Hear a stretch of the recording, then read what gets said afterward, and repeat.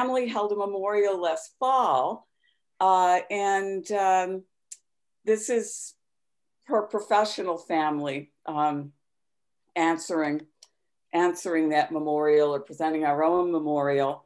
Um, and I have to warn everyone that this event is being recorded and should you not want to be recorded, uh, please uh, mute your audio and mute your video. And your audio will be muted during most of the presentations anyway.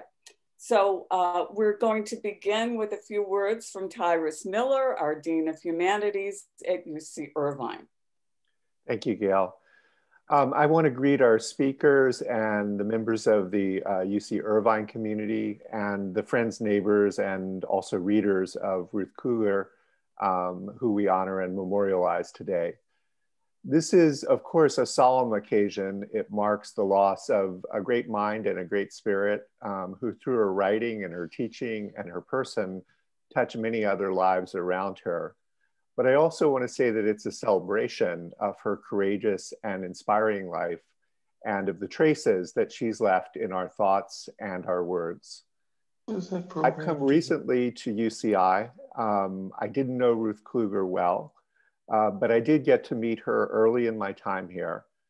We have a group of distinguished uh, speakers and panelists who, who will speak more at length about her accomplishments as a scholar, teacher, and writer. So I'll simply say that I'm honored to open this memorial at UC Irvine, where Ruth Kluger was our colleague. And I want to welcome all of you in attendance and our speakers, uh, Gail Hart, Professor Emerita at UCI, who will speak about Ruth Kluger's scholarly work, Sander Gilman from Emory University, who will be speaking about her first publications, her adolescent poetry in light of camp literature. Irene uh, Kacandes from uh, Dartmouth University. Um, her, her title is, and uh, her topic, On Being Young During the Judeocide and Living to Write About It. And then uh, following that, a panel discussion, including our speakers, with UCI professors Anke uh, Biendarra, Kai Evers, and Glenn Levine. So I will um, now give things back to Gail um, to speak about Ruth and her, her scholarship. Thank you so much, Tyrus. Um, we really appreciate it. Uh, this morning's session is meant to honor Ruth as a scholar and as a writer. And um, though she's widely known for Weiterleben and her other autobiographical writings, um, She's already a distinguished, um, renowned scholar of German literature uh, before Weiterleben ever came out. She was, um, her, well, her dissertation was on the Baroque epigram, and she moved forward in time from that to uh, become um, you know, an internationally renowned expert on uh, Lessing and on Kleist, uh, most especially on Kleist. She did distinguished work on Austrian literature. Uh, she was an amazing reader of poetry, almost right up to the end. She published a series of interpretations of poetry in the Frankfurter Allgemeine Zeitung. Um, she was also a pioneer in women's studies and in Holocaust studies. Um, we're going to spend more time today on her um, on her writing rather than her scholarship. And the two speakers, as, as Tyrus mentioned, will be addressing Ruth as uh, a writer. And each of our speakers will speak for 25 minutes, followed by, by the panel discussion. Um, the first is Sander Gilman. And Sander Gilman is a distinguished professor of the liberal arts and sciences, as well as professor of psychiatry at Emory University a cultural literary historian. He's the author or editor of over 90 books, which I'm not going to list um, all of them. Uh, but uh, recently he has written Stand Up Straight, A History of Posture. Um, and uh, among the others, he is an author of the basic study of the visual stereotyping of the mentally ill, uh, seeing the insane, as well as the standard study of Jewish self-hatred. For 25 years, he was a member of the humanities and medical faculties at Cornell University.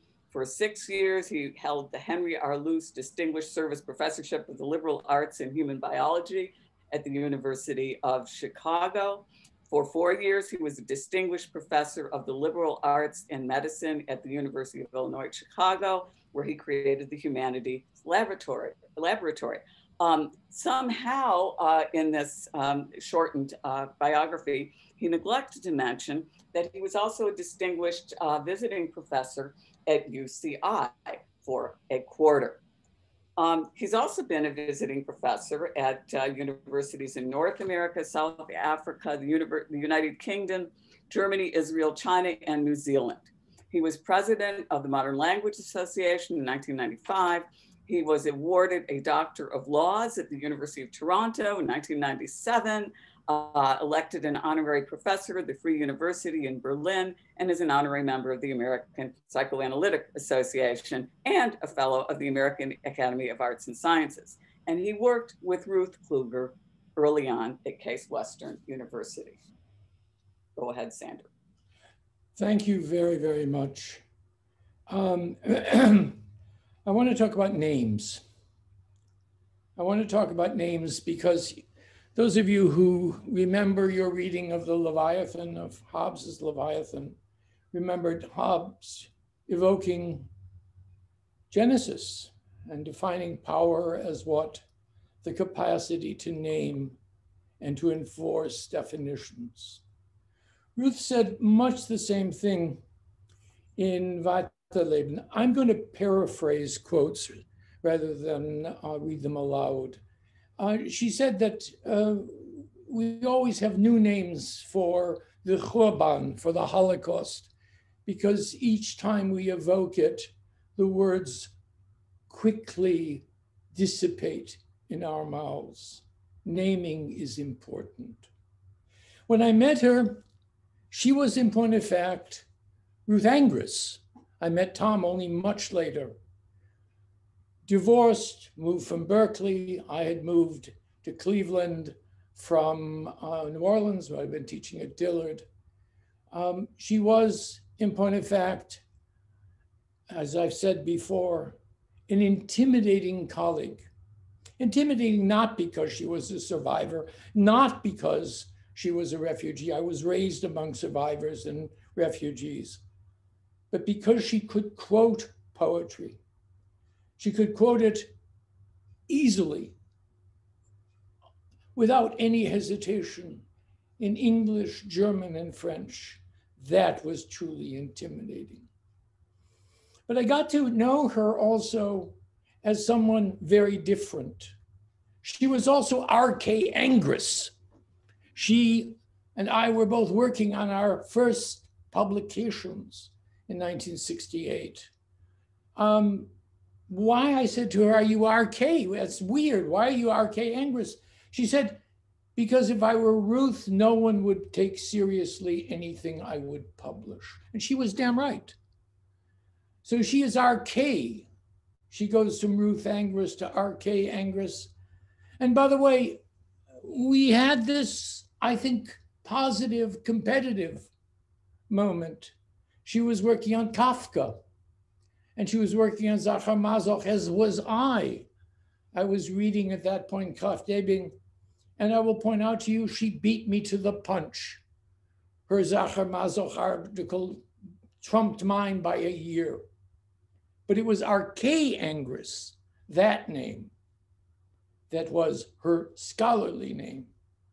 That summer, the summer of 1969, I found myself, as I did every summer in West Berlin, and every summer in West Berlin, I would um, take the U-Bahn uh, over to East Berlin and with a pound of coffee um, and have coffee with my dear friend Herbert Jakob at the Academy der Wissenschaften. Um, and uh, I would give him a pound of Western coffee. He would give me a cup of the most execrable East German coffee. And we would chat about literature. What I always ask, what, what's new in the bookstore? What should I read? And he said, You know, there's a wonderful translation of a novel from the Polish. Um, and I finished my coffee and I did what I always did, which is because I had the 25 Ostmark that we had to exchange to go from west to east. I went to the Karl Marx Buchhandlung. Now, those of you who would not experience this but knew it from the film, there's this extraordinary scene in Das Leben Andern um, in which the Stasi officer uh, who'd been spying on a writer goes into the Karl Marx Buchhandlung and picks up a book of the man he'd been spying on, opens to the de- dedication and finds it, the book dedicated to him. The Karl Marx Buchhandlung was the bookstore. By the way, the slide is a pun. Um, used to be Stalinallee, then became Karl Marx Allee.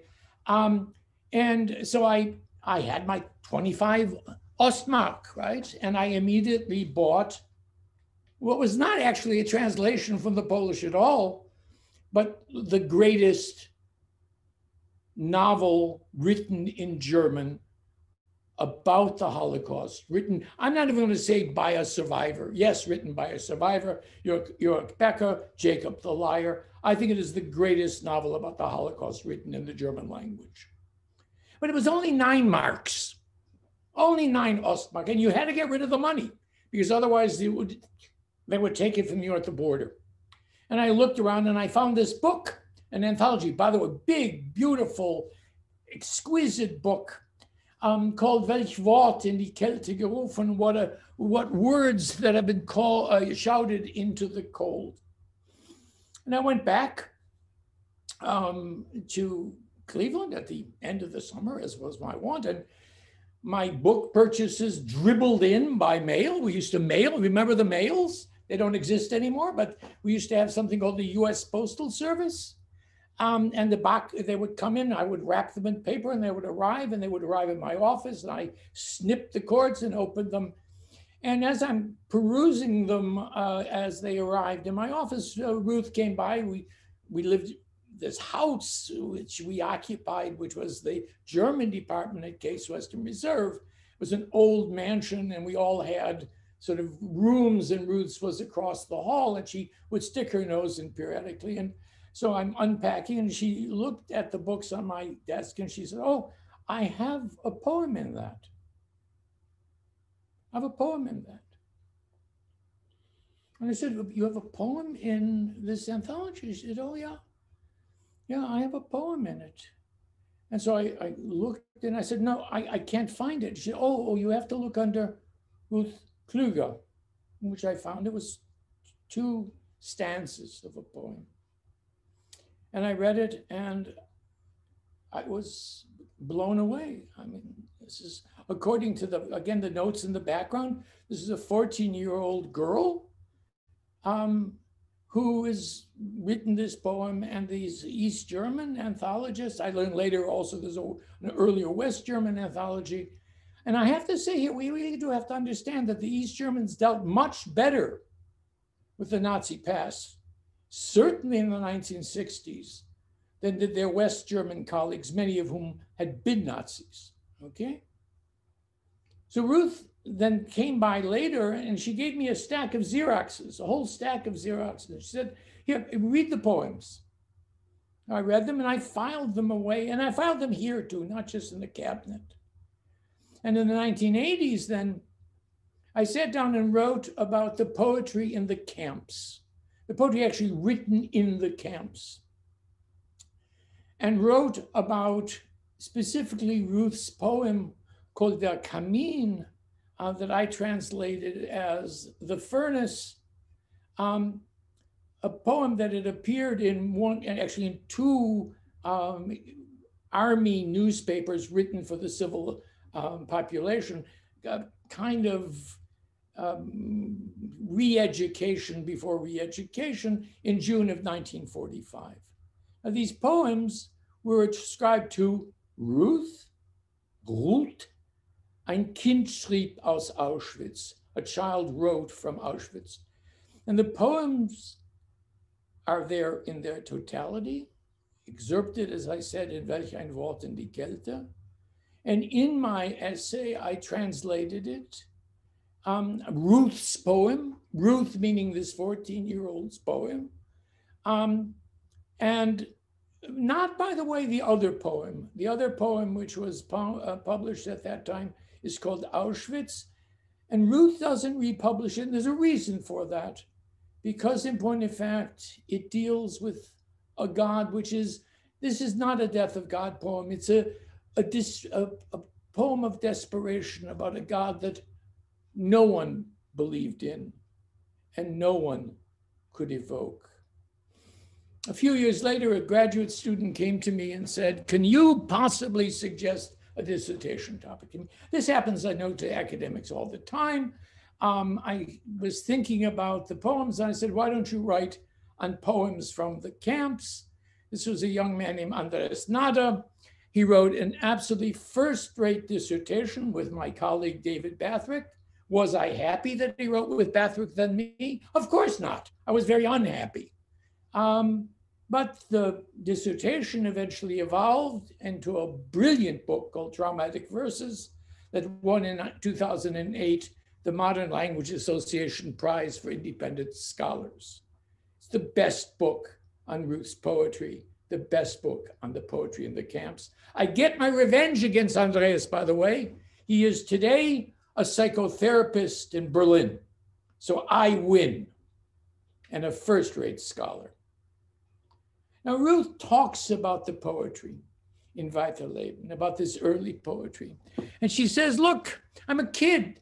I read stuff in school. I've got this fragments of poetry, and she always had these fragments of poetry in my head, these bourgeois anthologies of poems we all had to memorize in, uh, in school. I can still give you the first three verses of Hiawatha. I won't, but I could, right?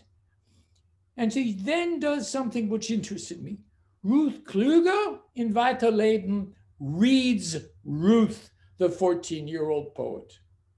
She talks about the superficial children's verses, a childlike combination of um, disguise and anxiety.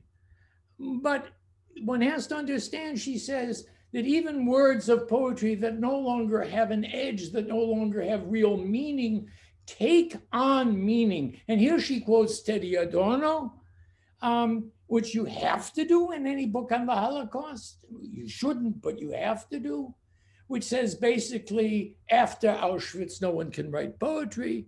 And what Ruth says, and it's really important, that in Auschwitz, you wrote poetry in order to keep your soul above water. Right? The other book she reads, again, the canon in the 80s. The canon is she reads Primo Levi. She reads weiter, in Vita Weiterleben, she reads Sequestro dell'Uomo.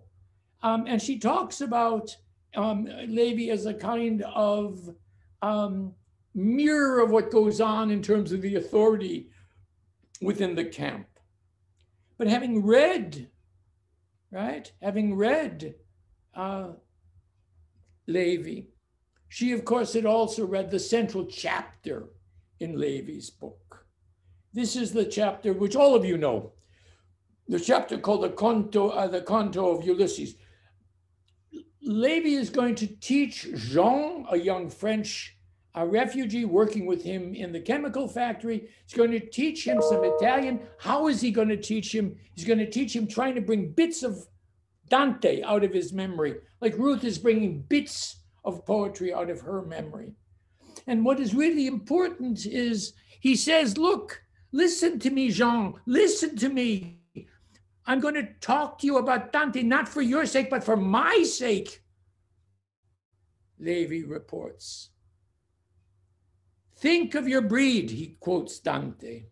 You're for brutish ignorance, your metal was not made. You were made men to follow after knowledge and excellence. And suddenly Dante says, I hear this poetry, this poetry I know in my ears.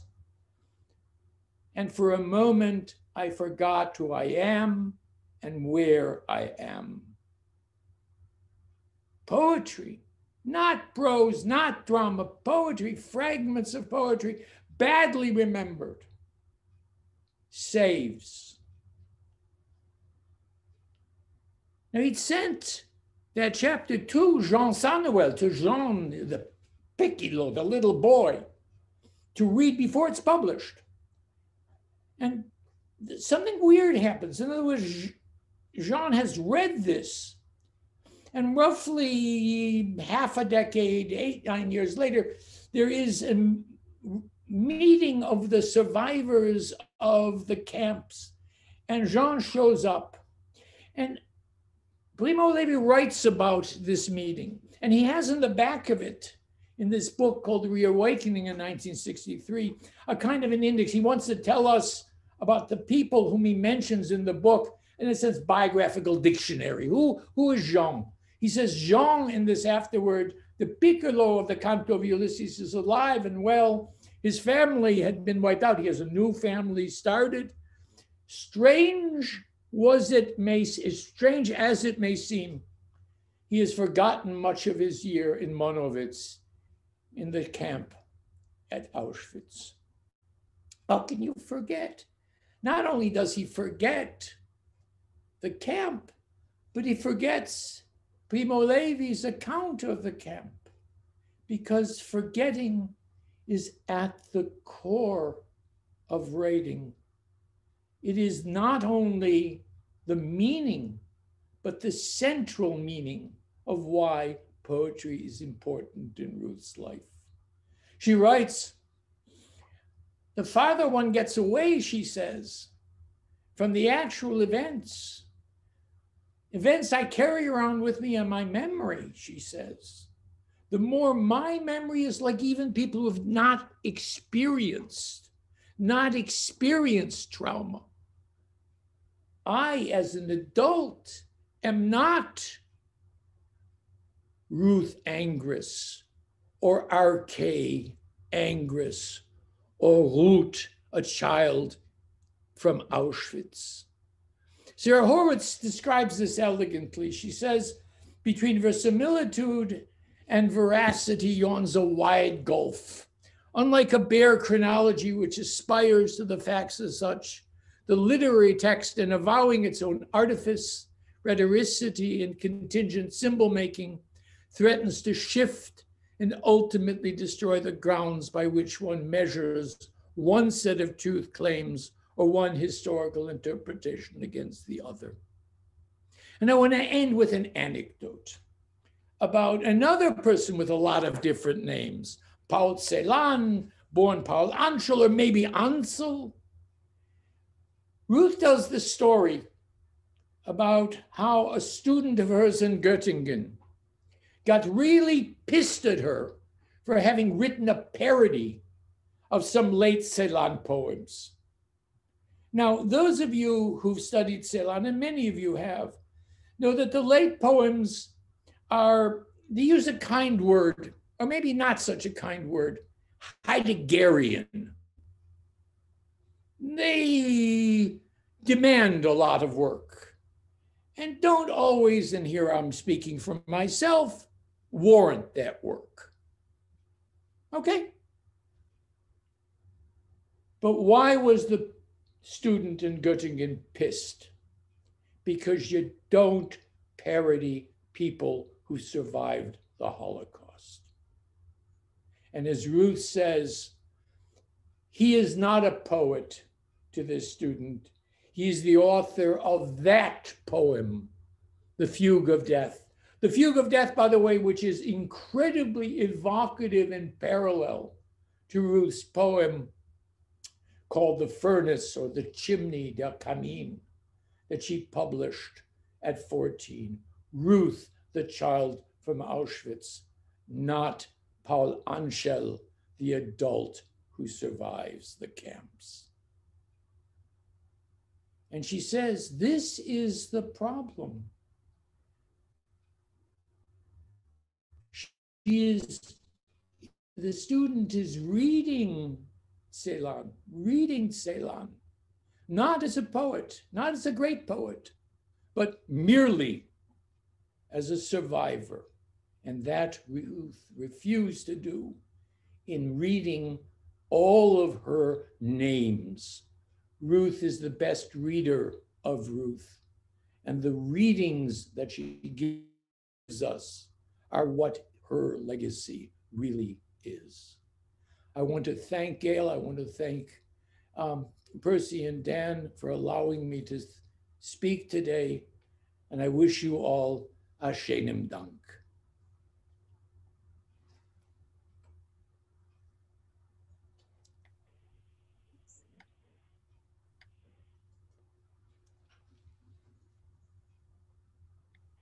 Hi. Thank you very much, Sander. I had trouble uh, unmuting myself, uh, but please accept my mute applause uh, for that really stirring account of Ruth. That, and it sounds so much, so much like her. One really recognizes her in that. So thank you very much. Um, our next speaker is Irene Kacandes of Dartmouth College. Um, she is the Dartmouth College Professor of German Studies and Comparative Literature, teaches also in the fields of women's, gender, and sexuality studies and Jewish studies. Her publications include Teaching the Representation of the Holocaust, Daddy's War, a para-memoir, um, Let's Talk About Death, uh, in Eastern Europe Unmapped, edited with uh, Yulia Komska. In the forthcoming volume, she edited on being adjacent to historical violence, is uh, 2021. She's a past president of the German Studies Association and of the International Society for the, Narr- the Study of Narrative Literature and has edited the series Interdisciplinary German Cultural Studies for the Goethe Verlag since 2005. Um, that her title has changed slightly uh, since uh, since we sent out the um, schedule, and it is considering Weiterleben and Still Alive in the context of Holocaust life narratives. Irene. Great. Well, I want to thank Gail and Ruth's family and my colleagues in University of California at Irvine for inviting me to be with you today um, it's not quite accurate to say that Ruth Kluger and I were friends, but I do believe we liked each other quite a bit. And we were perdu, so I'll use her first name throughout um, with deepest respect for her as a scholar. Um, our paths crisscrossed in many, many ways. For one thing, um, my advisor of my undergraduate and graduate theses, Dorrit Cohn, was also a Germanist, and she was originally from Vienna, as was Ruth, of course, and the two of them knew each other as colleagues in the field of German literature. Dorit was several years older than Ruth. Her family made it out of Vienna just on the eve of the Anschluss, the annexation of Austria by Nazi Germany, but she never talked about it, at least never to me. Though she did mention Ruth, I never quite understood what Dorrit made of Ruth's decision to write about her experiences of persecution as a Jew, given Dorrit's own reticence on the matter. I long wondered about that, especially after I began to teach, research, and publish in the field of Holocaust studies myself, and in that context began a relationship to Ruth, not a consciously pursued one, but one that stretched over two decades and was incredibly generous on her part. There's the time in 1991 as a young assistant professor when I went up to her after her MLA paper on kitsch, porn, and the Holocaust. And she not only talked to me about it and my work, but she literally handed me her copy of the paper she had just read. And there's the time a few years later when I must have sent her my first article on Holocaust video testimony, and she sent back her trenchant chapter on the theme of anti Semitism in the work of Austrian Jews that she published in a book co edited by Sander Gilman, my co panelist.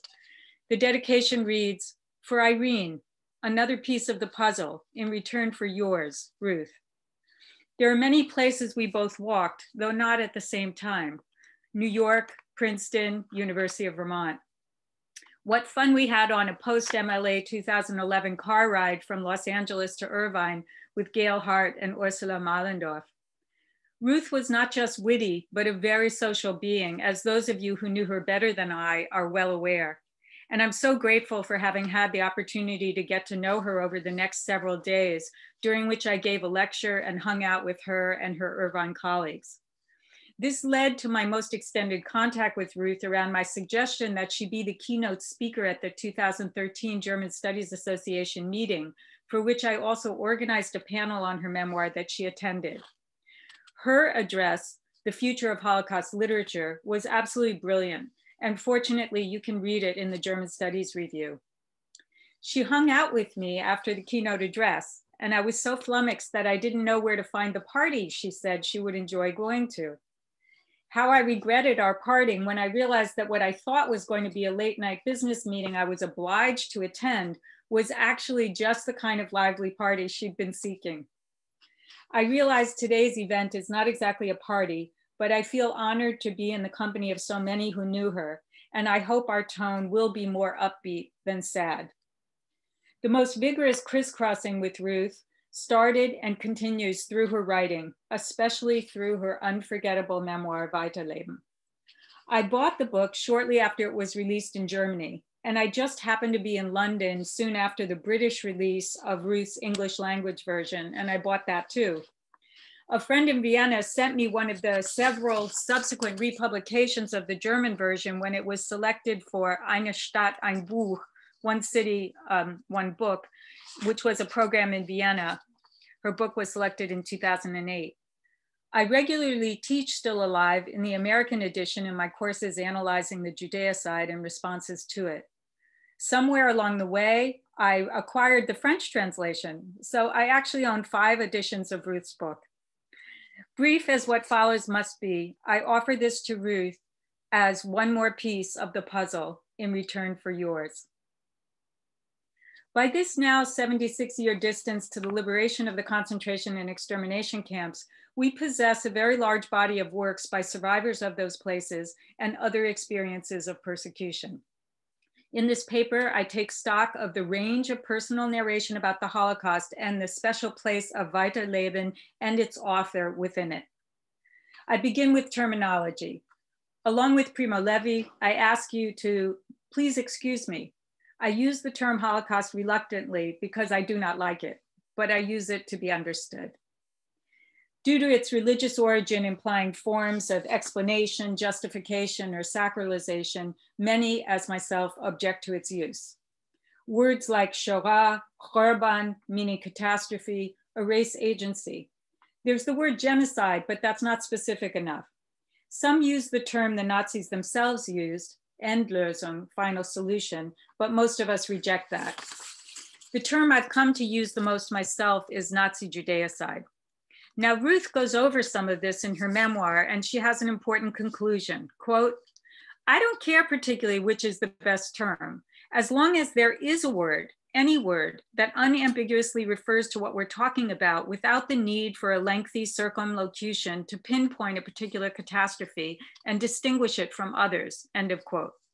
So following Ruth's cue, I will mainly use Holocaust in these remarks precisely as a shortcut to that lengthy circumlocution, which would list all the categories of victims and detail many different forms of persecution and responses to the persecution.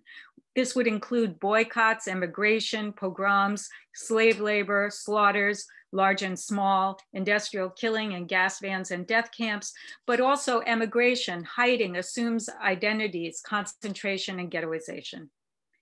My second terminological point concerns the distinction between life writing and life narrative. This latter is a term introduced by Sidonie Smith and Julia Watson, where life narrative includes narrating about the self in any genre, not just prose. The word memoir has a less agreed upon definition, though it too concerns personal narrative about the writer's life experience. I'd like to note that most early reviews of Ruth's work call it book, Buch. I mean my phrase Holocaust life narrative then to refer to communication through any number of media about the intended prejudicial, violent, and murderous events perpetrated by the German Nazis and their sympathizers meant to harm the author or creator of the life narrative. Taking a very quick, so therefore inevitably idiosyncratic tour through the terrain of Holocaust life narratives, I want to emphasize that these narratives' legibility to a larger public, and I want to mention events that help change degrees of legibility, by which I mean literally whether it was received by others and also the extent to which those others could take in the narrative's message. Diaries, letters, eyewitness reports, professional medical writing, reparation applications, visual and musical composition, and poetry are all genres that were used to try to get the message across. The single most widely read work of all those created during or after the perpetration is The Diary of Anne Frank. We know that though Frank first wrote to please herself, after hearing a call for testimony on the radio, she changed her intentions, began rewriting the diary, and had eventual publication in mind. We also know that hers is a powerful testimony to the experience of hiding. Still, the diary does not include any of the horrors that its author eventually experienced during deportation and internment, including those directly leading to her death.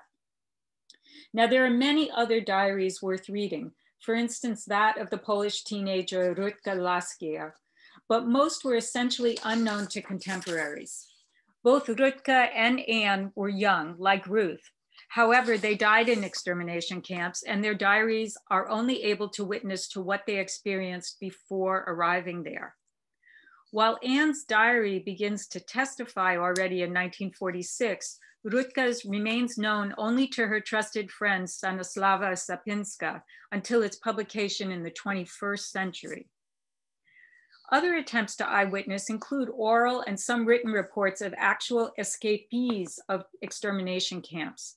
The earliest is that of Jakob uh, Grojanowski, who makes it to Warsaw, testifies to the group around Ringelblum about the mass exterminations in gas vans at Chełmno, and a written report of which is smuggled out of the ghetto by and to the Polish underground.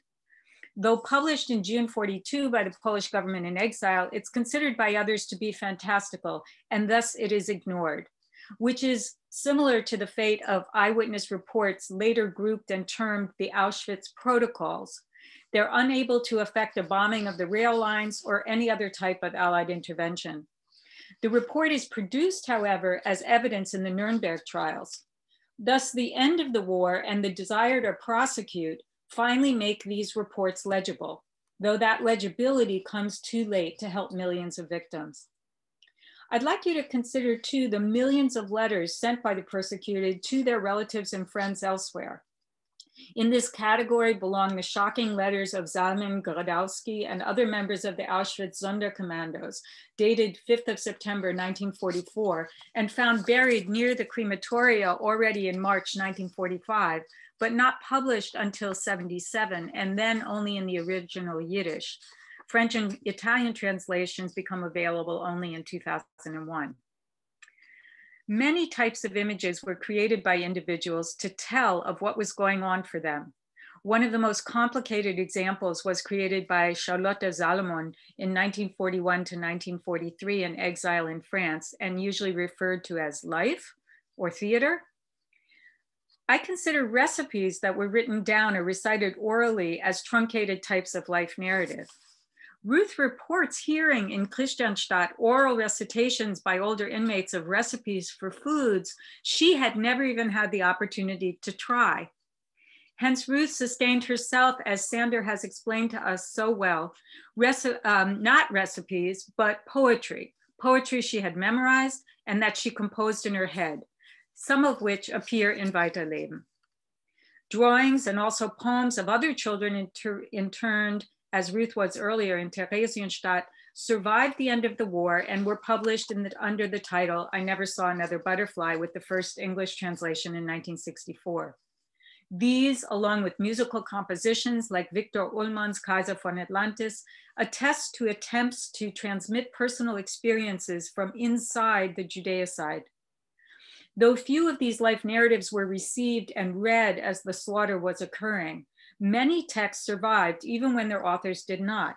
And these could become legible in the decades that followed, even as new texts by those persecuted who had survived were being produced.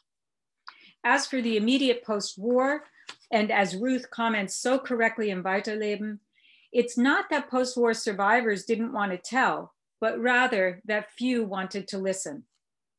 I want to make sure you know, though, that in hospitals and DP camps in numerous places in Europe, survivor testimony was solicited, mainly by Jewish organizations.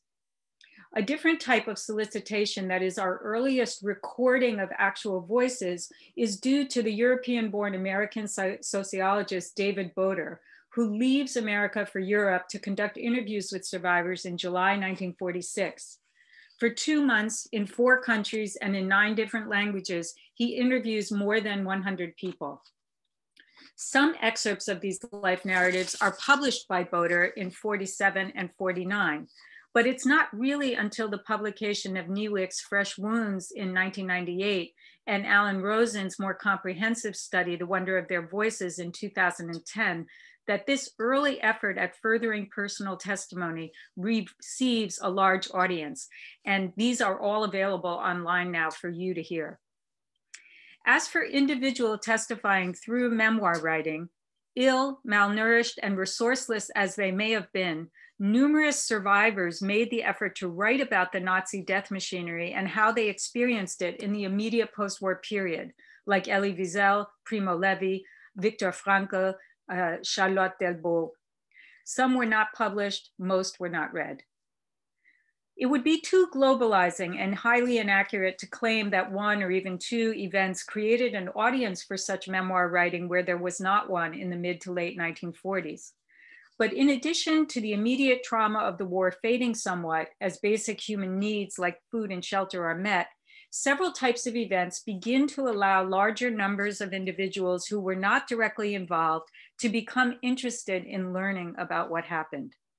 Trials like the Nuremberg trials in mid to late 1940s, the 1961 Eichmann trial, the mid 1960s Auschwitz Frankfurt trials played a huge role. To these forced airings of Nazi atrocities, we could add at least one cultural event, and that's the publication of Anne Frank's diary, which I already mentioned briefly. Though the first report about the diary occurs in 1946, the popularity of the diary starts ascending into the stratosphere only with the 1956 American dramatization of the diary and the subsequent American film in 1959. Some of the memoirs written immediately after the war are published, republished, or translated in precisely this period, like Primo Levi's and Wiesel's. I date the next major surge in interest to the late 1970s.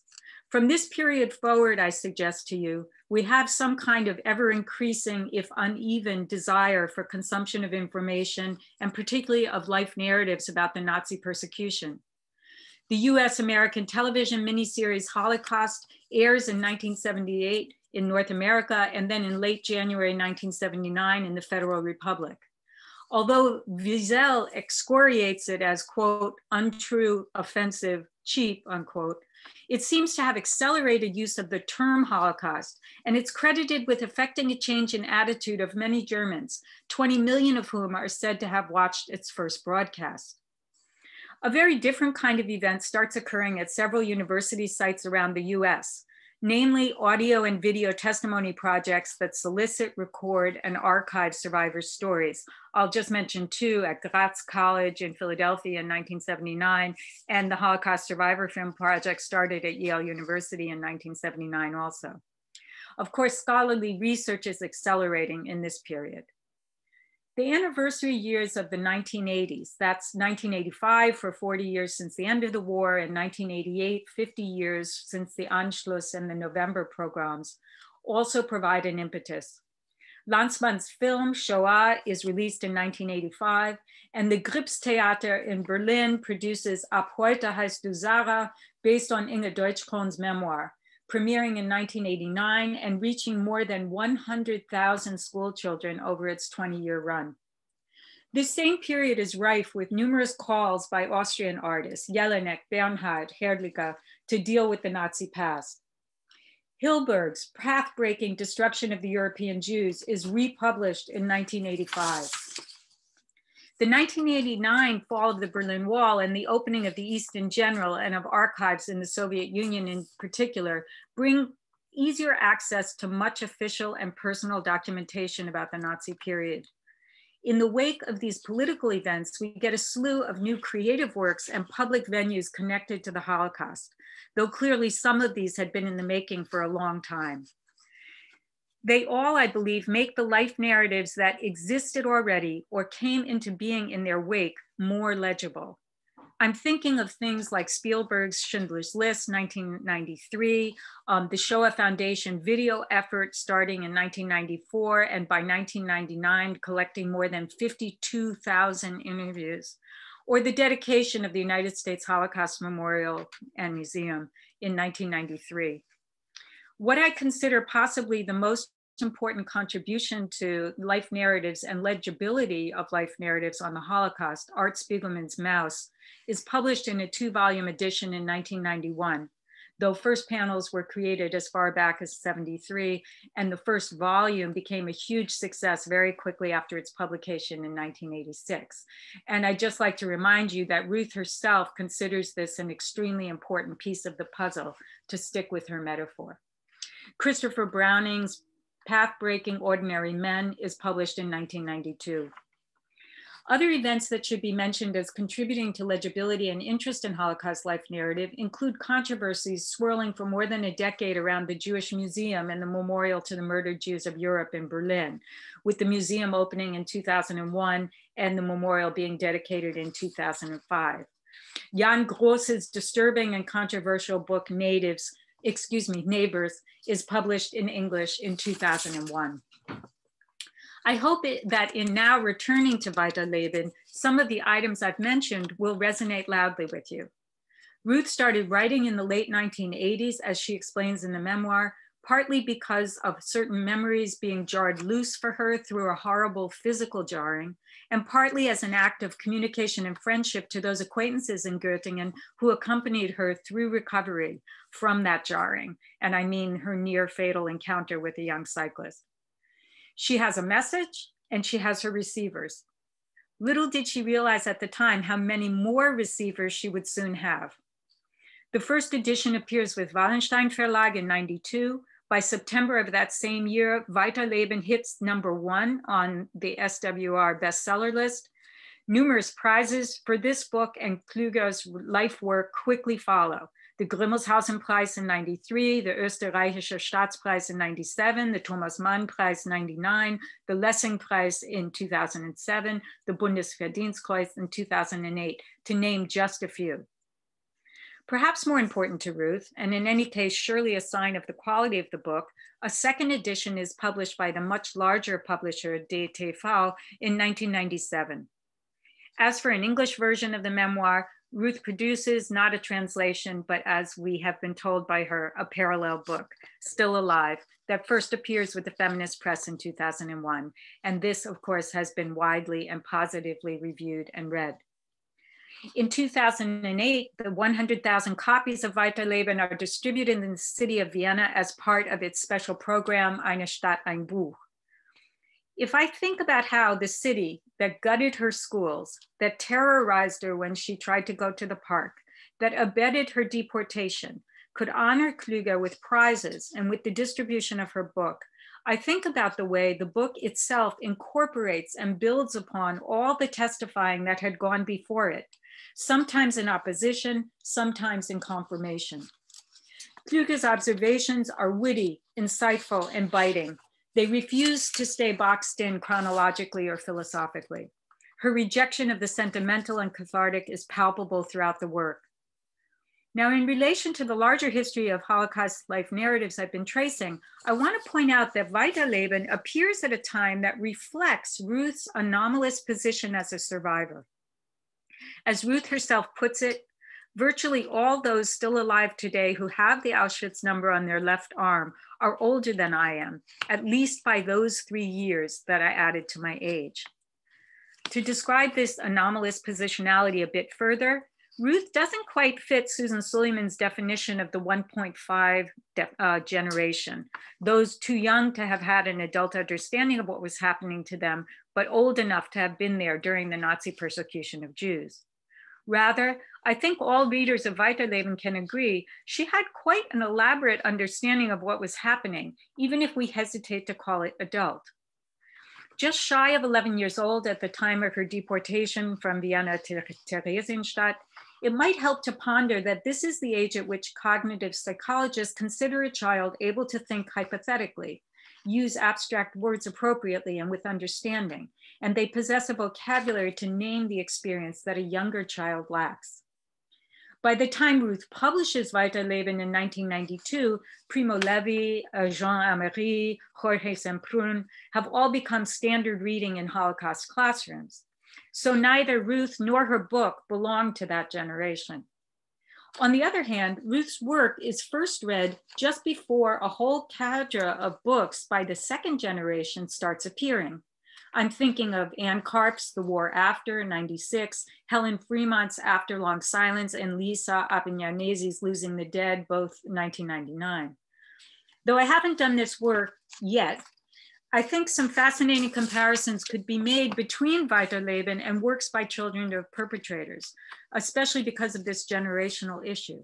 Uwe Timms Am Beispiel meines Bruders Tim is born in 1940 and the book appears in 2003. And Richard von Schirach's Im Schatten meines Vaters. Um, Richard is born in 42 and his book appears in 2005. Because Ruth includes so much about her own mother, Weiterleben shares features with all these texts that are not just about one person, but rather concern at least two generations of the same family. Similarly, they and Vita Weiterleben contain multiple narrative strands in the sense of being concerned with the survivor's story and the story of getting that story. Ruth's book incorporates reactions of her first pre-publication readers into the text, especially to point out why she disagrees. Having just reread the book for the 10th, 12th time, I've lost count, I want to remind us how extremely well written it is. I mean this both in terms of the overall structure and the quality of the writing. I'd like to point out that at the macro level, it's structured chronologically by the major way stations in her early life, Vienna, the camps, Germany, New York, accords with decisions by many historians and archivists of Holocaust testimony who have emphasized the importance of recording life before the Judeocide, during persecution, and after war's end. A huge contribution that Ruth's memoir makes concerns the before. So many Jewish children did not survive. Born in 1931, Ruth barely knew a pre-Nazi Vienna. Just six years old when the Nazis annexed Austria, Ruth's life quickly became more and more constricted, profoundly affecting her schooling and her socialization, as it only slightly slower affected her basic health from lack of food. What reader can forget the scene where she is discovered by the well fed baker's daughter at the movies, or her pointing out that Nazi Vienna denied her the opportunity to learn how to ride a bike or even swim? Still, when Ruth reports these details, she's not looking for pity. Rather, in one of the many passages when I can practically hear her actual voice, she writes, People say pityingly, You didn't have a childhood, you lost your childhood. But I say, this too was a childhood. Ruth's book is filled with scenes that are skillfully structured. Consider the critical scene of the selection, where the inmate secretary saves her life by telling her to report her age as 15. Ruth, the author, moves between summary, scene, quoted dialogue, flashbacks, flash forwards, no mixed statements about altruism and reader address.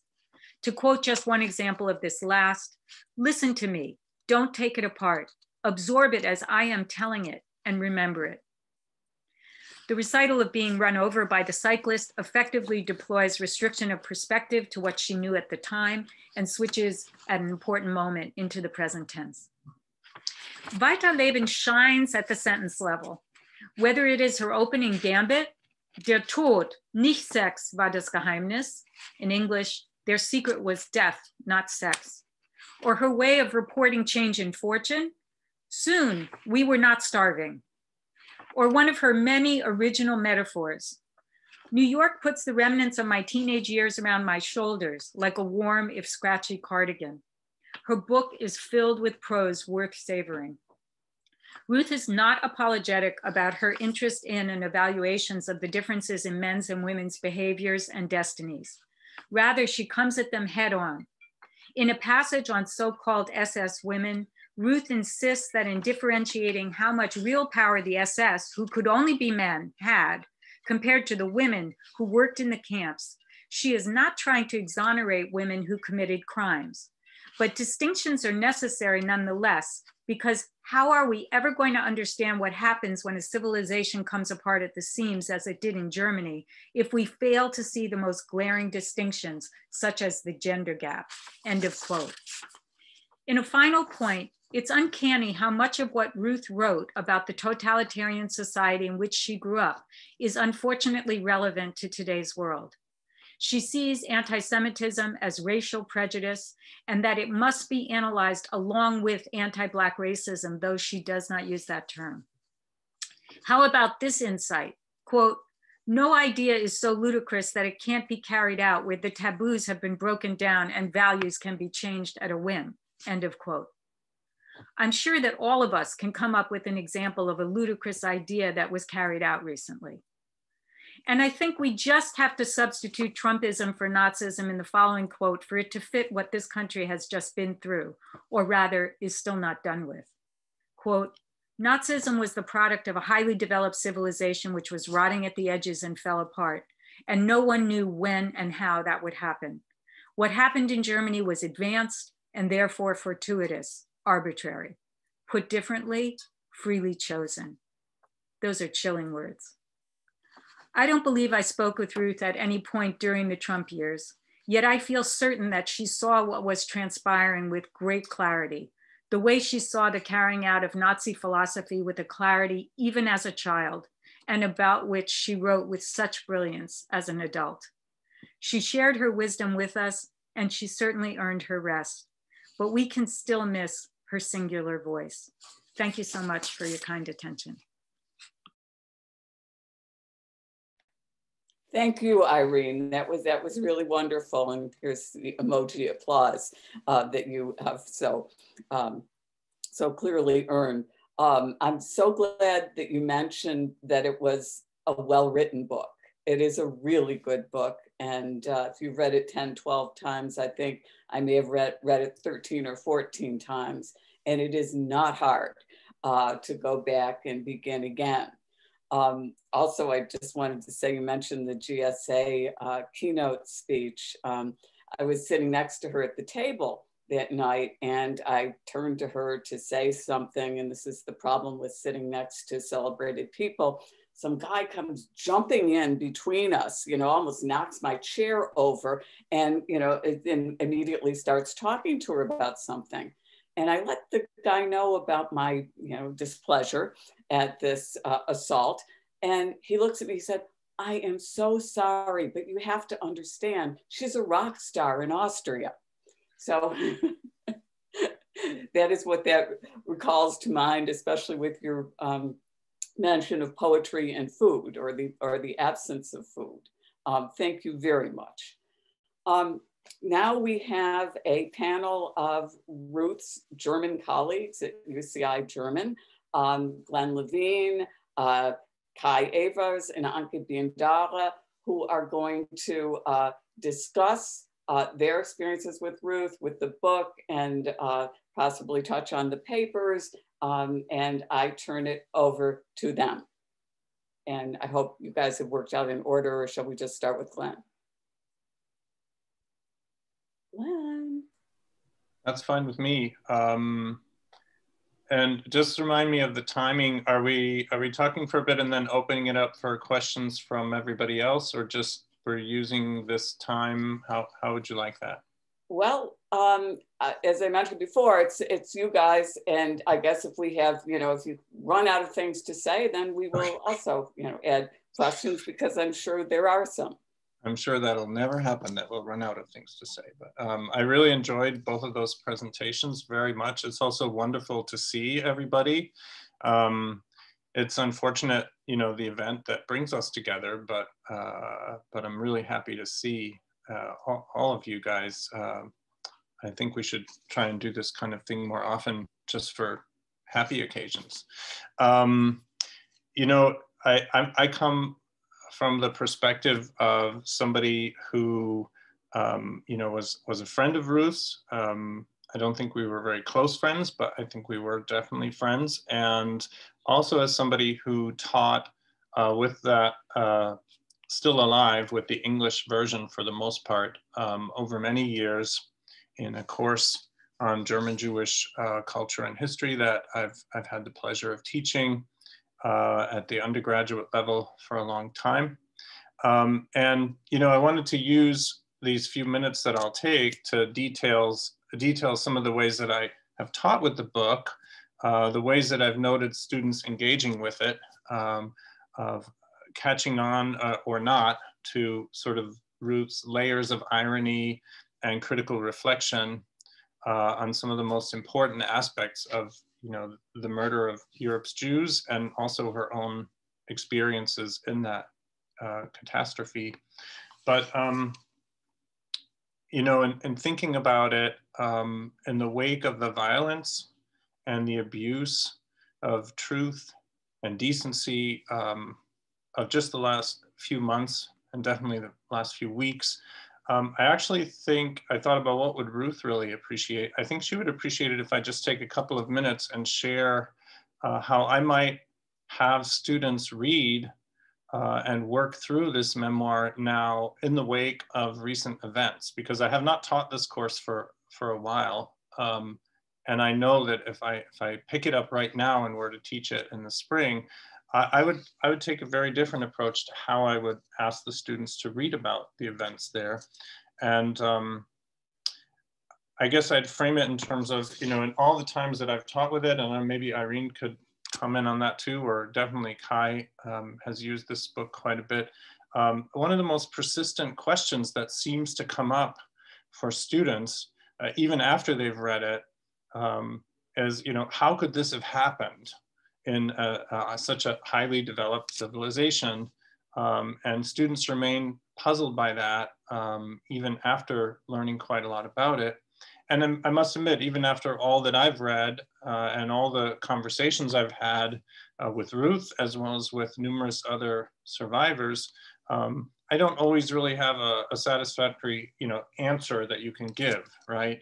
Um, Ruth does address this very question uh, through the book, uh, but as, as Irene quoted, uh, though I think it's in very nuanced ways, and it makes the reader work for those insights, which is partly why I love teaching with this particular book. Um, so without wanting to draw sort of inappropriate parallels between Nazi Germany and the US um, today, I, I actually think that especially since January 6th, and really over all of the last four or five years, unfortunately, that this very question, how could this have happened? Um, I, I, don't think my students are going to ask that question anymore in the same way, which makes me uh, sad and very concerned.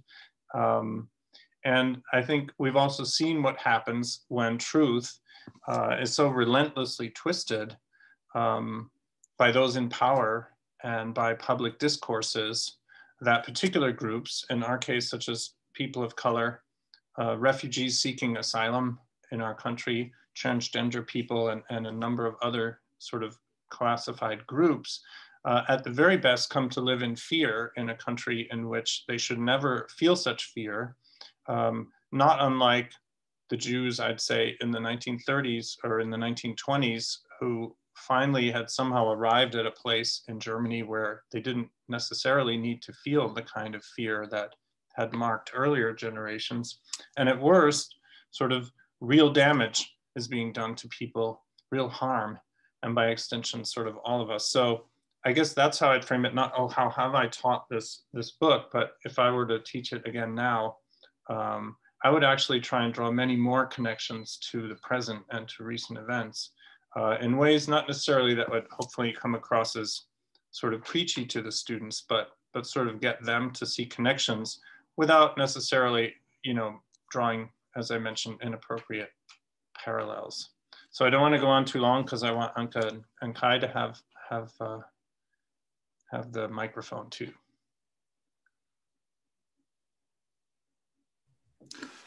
Thank you, Glenn, and and thank you, Irene Kacandes and Sander Gilman. I mean, those were really wonderful presentations, and they they, they kind of captured both, I think, sort of Ruth Ruth and Ruth writing um, from, from very different perspectives, but but they were clearly overlapping in that.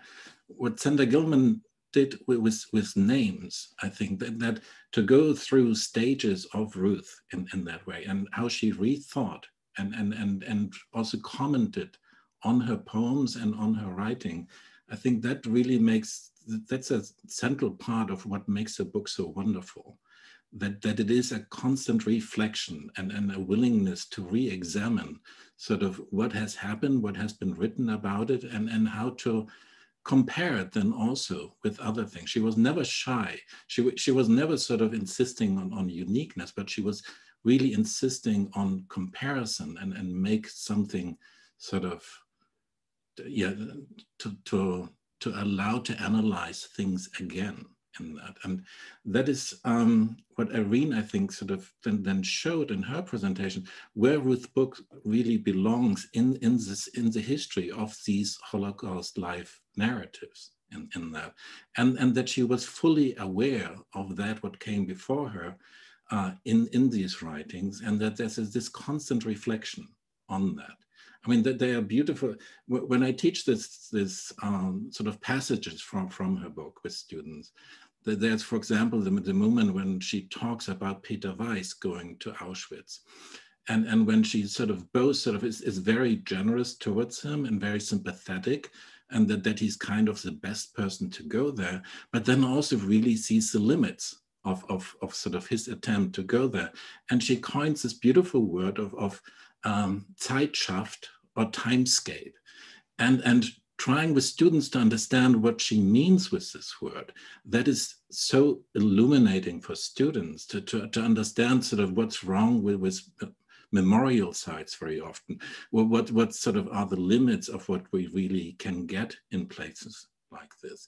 And, and there are a whole series of, of these kind of moments that allow students and, and every reader um, to really um, get the problem of, of, of thinking, of, of, of uh, remembering and of, of working with these kind of texts. The other thing that I, when I taught it, what I've noticed was that um, since she is she is constantly moving in her writing and constantly re-examining, that also occurs with her book. I taught recently a class on, on refugees since, since the 1940s in Germany till the present. And it was her passages after she escaped from the death march and found herself suddenly among German refugees that allowed students to, to realize that, that not every refugee situation is the same. They can even be on the same street and they're utterly different in, in, in where they come from and they will, where they will be going. And she has this beautiful, unsentimental way of, of thinking about and, and writing about it. And students after the class, this was the text on refugees that they singled out as, as the most insightful for them, that really complicated for them what it means to be a refugee and to find themselves in these very strange situations.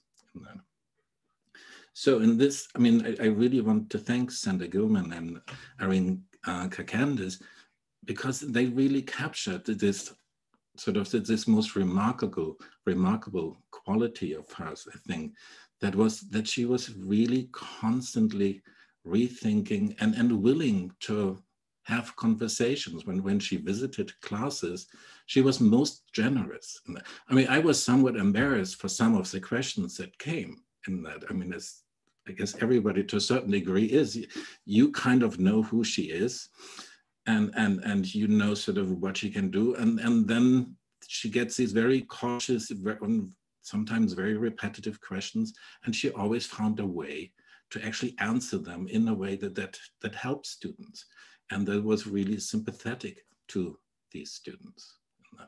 So this this was um, a really yeah, no, no, a, a, really generous way in, in which she invited, sort of, in which she invites both in her books and in the classroom settings, sort of students to approach these topics um, with, without sort of false piety in that, and, and to, to really try to start conversations and, and to, to rethink these things. So in that way, I think both sort of these presentations really helped to highlight this processual sort of quality of Ruth and, and, and of her writing. The one thing, and, and that to Sander Gilman, the, the, the only thing I ever found her shy about her writings was her poems. So when, when we talked about Weiterleben, that was the one thing I was, I mean, that was where she actually asked, should I have done that? Was that right of me to introduce my poems because they are not really good, right? And then you were supposed to give an answer about her poems in, in, in this. But that was sort of the only thing, only time where I ever saw her somewhat hesitant in, in her own judgment. And, and that was about her poetry, which is wonderful. And yeah, that would can be I, all. Can I say that when she gave me the stack of poems, she gave me a whole stack of Xeroxes of badly typed poetry, right? Um, she did not give me permission to use them. I want to say that's important. She did not give me permission to use them. And when I translated the one poem and sent it to her, she was very, very hesitant about my including it in this essay. And I think it really had to do not with any embarrassment about children and poetry and bourgeois fragments and everything else, but what the placeholder of poetry was in her life. And by the way, again, that's why the Primo Levi quote and a number of writers who wrote during or immediately after the camps. So I agree with you. I mean, I, I think it's a complicated question. And by the way, I don't think that Kamin is a worse poem than Todesfuge. I've said that in print. No, I think these are great poems, and and these are also, also, I mean, like what you said, sort of that Celan sometimes might demand very, I mean, too much work to to to get. Her poems students can access in that, and they do allow them to to, to start talking about this, and and that is certainly a great quality. But that was all I, I wanted to say for now.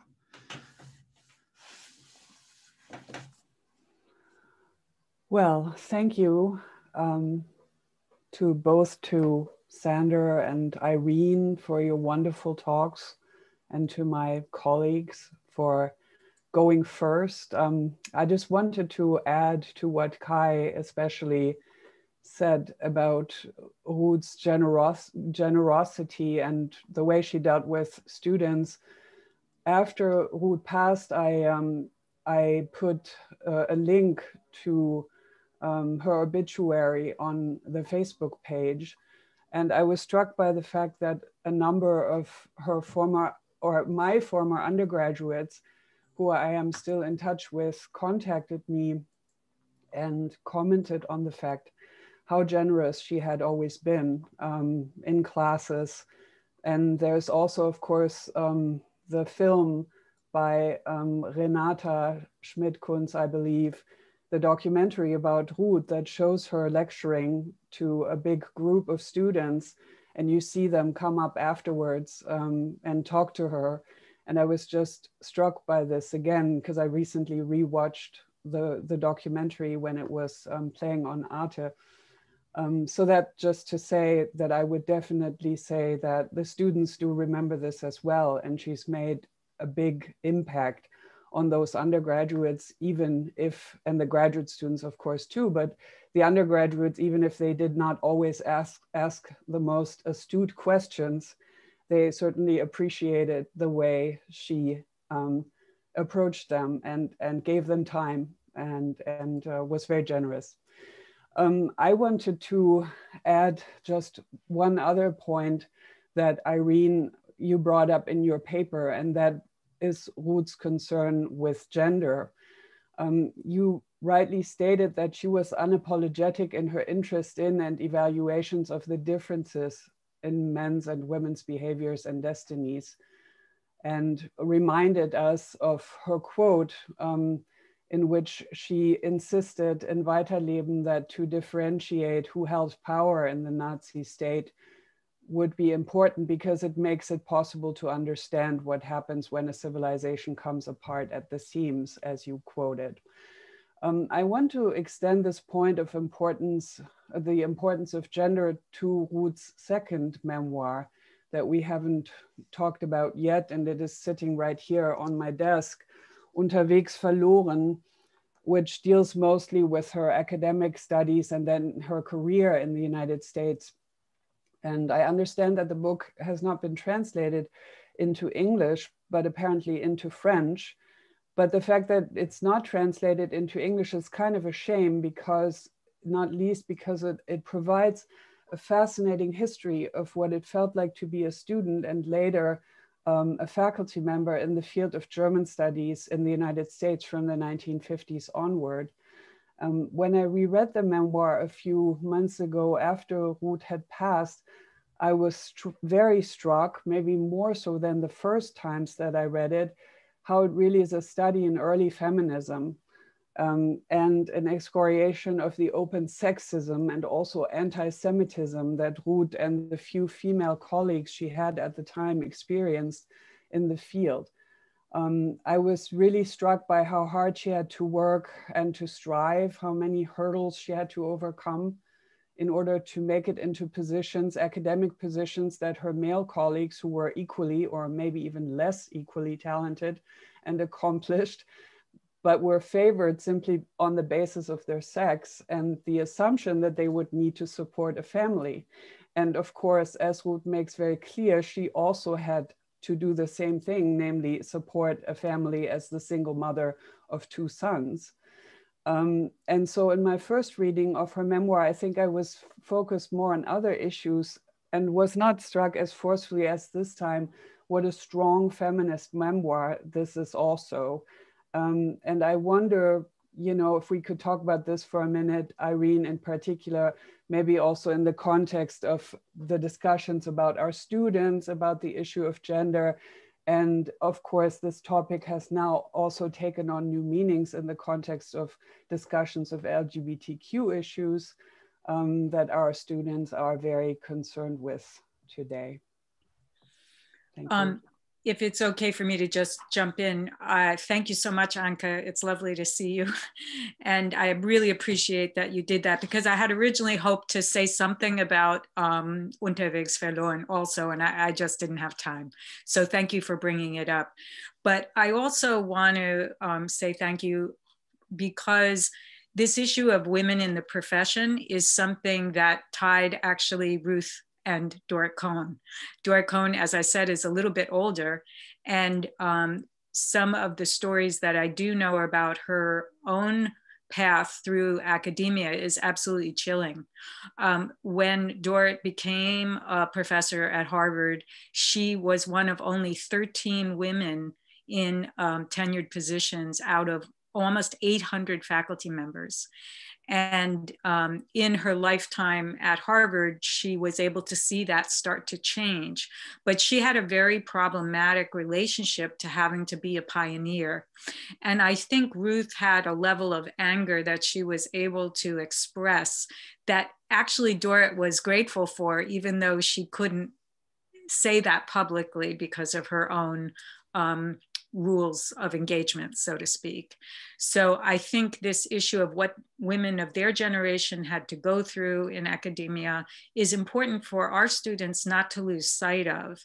And as you suggested at the end of your remarks, to make a kind of parallel to what are the injustices that of your generation, right? These were the injustices of their generation and the generation before me, so that people like myself could go into a situation where there are 35% tenured faculty when I, or tenure track at Dartmouth when I arrive. I mean, that was the highest percentage in the Ivy League, but it was wonderful to not have to be the pioneer, right?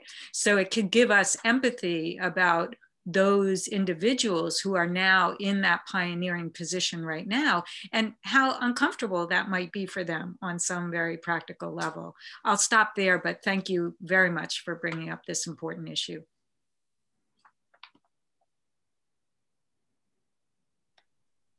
Shall we open up the floor to questions? Um, not sure how to call in people, but uh, Hi. Your, your, your, your uh, picture just enlarged, so I thought you were saying something. No, that's a technical accident. People could either write into the chat or they could raise their hands. And if you see them, Gail, then you can just call on them. Yeah, I can't. I can't get my chat going. I can't. You know, I, I chat, but uh, I can't find it. Here. You have Peter um, raising his hand. Peter Pfeiffer? Yep. Yep. Go for it. Um, I, I just wanted to um, sort of um, enlarge a little, not, maybe not enlarge, but uh, sort of uh, drill down a little bit more about that um, sort of feminist streak and also that anger. I think uh, that uh, Ruth has and had much less trouble expressing um, than some other people. Um, and I always thought it was um, really smart how she um, was always incredibly direct. And there was very little, um, at least in the in the sort of interactions with her, uh, day-to-day interactions, that she would theorize endlessly about all of these things, but she always uh, pulled it uh, to something very concrete, and how, um, uh, and, and sometimes um, you know with things that um, that you thought, well, this is just the way it is, and then suddenly she pointed to it and it just, um, as they say in German, wie uh, Schuppen von den Augen fallen, you would realize, what the hell did I just do? Or how did I not see that uh, before she phrased, uh, she um, pointed this out. So I, I really thought that was always something that I uh, greatly admired about her and that really um, opened up a lot of new perspectives for, for myself.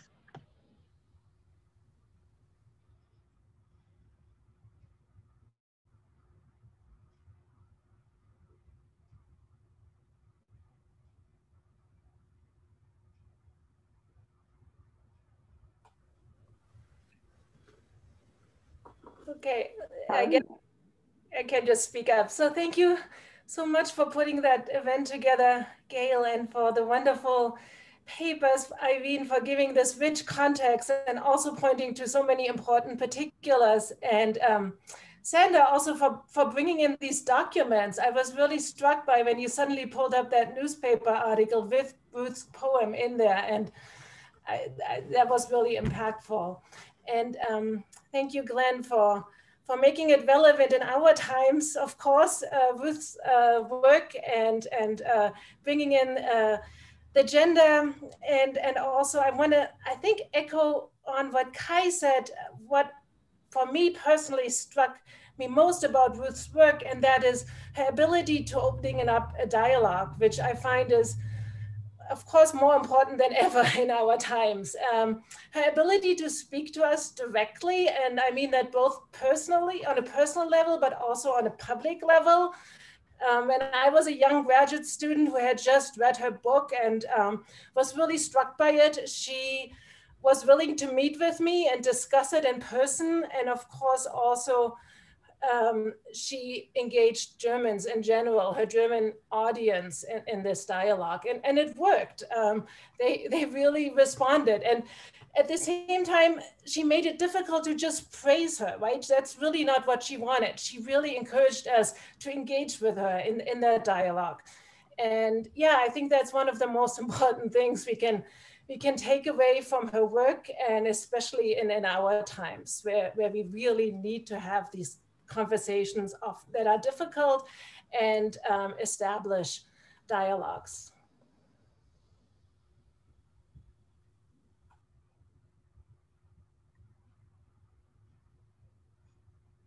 Um, any any other ones? I, I cannot access my chat and I'm looking around for hands being waved. Hi, Kirsty. Uh, hi, Gail. Uh, yeah, let me jump in with one. Um, Regrettably, my mother, the German professor, didn't raise us to speak bilingually uh, for many reasons. I think some of them quite good. But um, as a consequence, I've really had access only to the English edition. I've struggled through a Spanish translation of the German version, but I'm wondering if any of the panelists have comments on what we readers of the English edition of uh, Weiterleben miss from what was left out from the German version? Um, there has been some, thank you for the question. And it's, it's lovely to finally meet you, so to speak. Um, I, I, there are papers on that. There are published uh, comparisons of the two versions. So I could get you uh, some of those titles. But um, I thought about mentioning that, and again, you know, I just I just didn't have time. Um, I was very struck in going through it this time because I had the two versions on side by side to realize that she left out the poems in the Auschwitz section yeah, she decided not to put those in at all. And uh, one of the reasons I, I, wanted to mention that is because um, to get to Kai and, and um, Glenn's points, my students loved the poetry that was in there. I mean, every student commented, and they're only reading the English edition. So there's much less in the English edition, but what was there, they were very, very moved by. So maybe that's why it caught my eye that she specifically decided to leave out those uh, poems from the Auschwitz section. That's one very important thing. Um, the other thing is, I would say that her commentary, and this speaks to uh, something that I think Peter and Carolina were just saying. Um, Ruth had the uncanny ability to really address people in the sense that she didn't just make a generalization. She knew who her audience was at a certain point, whether it was an individual or a group. And she really tailored her comments so that it could reach that group or that individual. Um, I don't know if that was just a natural uh, pedagogical instinct on her part or almost a political decision on her part.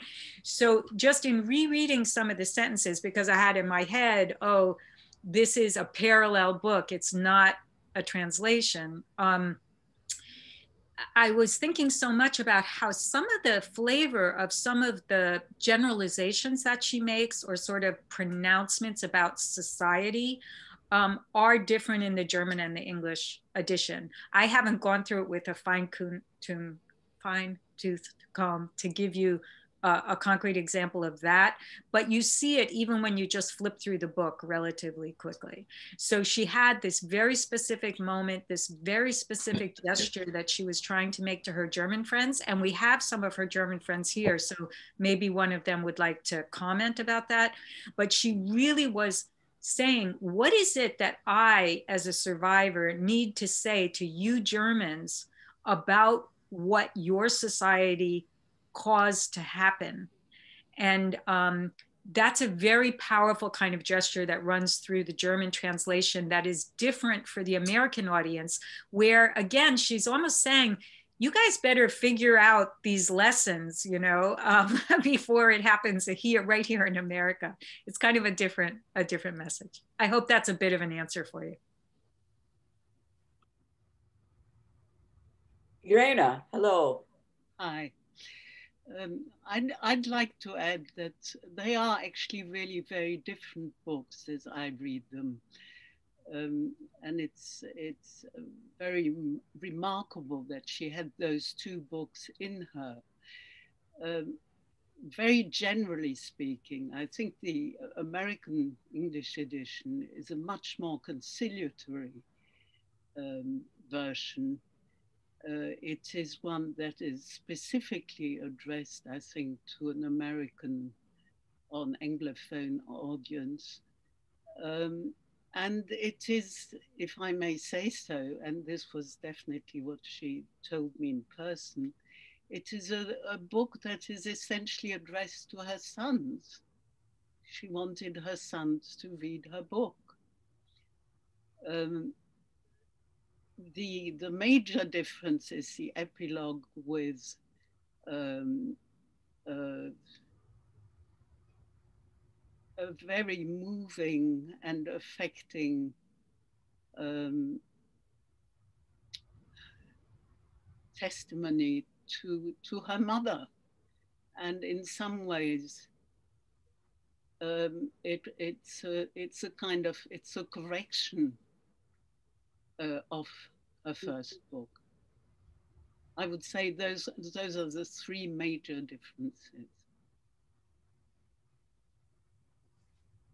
if you would allow me to just um, rephrase that last little bit a tiny bit, um, I do not know the family, so I'm just um, saying what I'm saying as a as a reader. Um, but I think there was um, a beauty in what she wanted to do, and the beautiful image talk about the writing as I was trying to do, the beautiful writing in English about the relationship between her mother and her granddaughter, so great granddaughter for the her mother. Um, that's one of the most beautiful scenes in a memoir that I can think of. Um, that love that she describes there. Um, but I would also suggest that it's testimony to what several people have said about how Ruth kept going. She kept growing. She didn't just sit with anything. And I think the not just sitting with something also includes the relationship to her own mother, that there had been all kinds of events that happened in between the writing of the German version and the writing of the American version in her relationship to her mother. And that's reflected in the book, especially in the end. And I think that's um, an, an, amazing thing for any human being. I think some of us, you know, figure out our life narrative or who we think we are, and then we're kind of stuck there, you know, by choice or or not, you know. And I I always had the sense of Ruth as someone who just refused to do that you know she talks about being someone who wanted to move all the time right? That she was good at running away. I, I love that you know and uh, but i think it's the positive sense too. She was not going to and some of you mentioned she didn't want praise. She wasn't going to you with her stuff because she wanted you to praise her. She um she was restless. She wanted to move on. So she kept asking questions which is just a beautiful way to live I think Mark Gelber has a question. And after that, I think we need to break for lunch. Mark? Did you unmute yourself?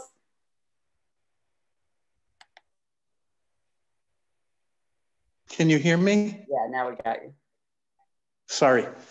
Um, you know, there's Ruth Kluger as the author of Weiterleben on one hand, and there's the Ruth Kluger that some of us knew, you know, to vary to varying degrees. And I think it comes across clearly in the presentations I just heard, but also in the particular readings. So what Irena said just now. Um, her relationship with her mother, I mean, I read it very differently in the German original, a very different kind of relationship than the relationship in the English version but also the English version um, is a much more Jewish book. The Jewish Ruth Kluger that is, is much more pronounced in the English language version, whereas the German book is a German book for her German friends. At least that's how I, I read it. But at the same time, I may be confusing the Ruth Kluger I know with the Ruth Kluger that I read. And um, I think I think one has to be, as a literary scholar, of course, the literary scholars, we are, those of us who are uh, involved in scholarship have our scholarly agendas and um, methods. Uh, so that's why it's also interesting to hear about the students, because I also witnessed her often with my students and with other students quite a bit. And that relationship, that was very important that it was mentioned here tonight. But um, you know, she was um, a very, very sophisticated, she had a very sophisticated mind. And um, she was also a very complex person who had been through a difficult past and had a, many challenges which she overcame, of course. So um, I just thought I, I, would mention that, that, you know, that there may be some different Ruth Klugers there, and we might need to sift through them to a certain degree. Any response? yeah, I would like to say something actually. Okay. Um, one of the things that I that I think we need to discuss is why why she left out so much of the German stuff in the English version, and I think it's because to me, Weiterleben is absolutely steeped in the German Kulturgut. It is if you don't have that background, you you won't get it. So she was very wise to leave that out for her uh, her uh, American audience. I find it I found it unfortunate because I am I do know that that that Kulturgut and I that's why I love Weiterleben so much. But I think that's one of the reasons. It's just she she is part of the German Bildungsbürgertum. That's what Ruth is all about, and and um, and that's what Weiterleben is about as well. And I think that that's a really important distinction one needs to make. Thank you, Anna. Mm. Anything else that we need to register now, or shall we meet again? Yeah, I think Sarah wanted to speak. Sarah, is that right? You're you're muted, Sarah. I think I unmute. I was um, going to really sort of add into uh, or to things that other people have already said. It's um, about this the quality of, um, well, in some ways, her fearlessness, and that comes out, I think, in terms of her what we were, people were saying about her her expressing herself um, and her directness, and also um, I, I, associate that with also a, a, a sort of um, a very deep impulse to connect to people, and the way to connect to people was in a straight line, and um, and it could sometimes and it was and that was true in terms of her not wanting to be um, praised she wanted to have a sort of a direct exchange about her stuff. And i knew i know somebody who was a like ruth uh, same generation uh, also from came to the united states at the age of 11 and i said to ruth something about my friend having read her book and and ruth wanted to know what she thought. And then when it when i was sort of being mealy mouthed she sort of kind of said oh if it's just it'd be much more interesting if there was something she didn't like about it um, and uh, and the other thing I was going to just also say is about her the way in which she kept moving forward. She and I had a conversation where she when I turned 60, she sort of said sort of said to me, you know, life is just beginning. I mean, she kind of said to me, you know, and she kind of spoke of her own renaissance in a certain way and her second life is so it was um it, was that was a and that was a beautiful way to live. So I just wanted to uh, echo what you had said and, and, and express my appreciation. Thank you, Sarah. Uh, thank you, everyone. Thank you for the papers. Thank you for the contributions. And uh, we meet again, or most of us meet again at uh, 1 p.m. And Meredith will then host us. Great, thank you. Thank you again. Thank you. Great, great, great, great panel. Thank you. Thank you.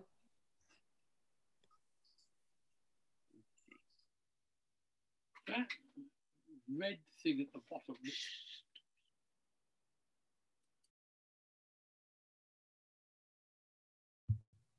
Will we get a chance to read some of the um, papers? Irena, will you, will you, is this something that you'll let, let us read? I think Gail is planning to publish them. Oh, good. Uh, with Geza, right? are you her co-editor? I think they will they will come out in print at some point.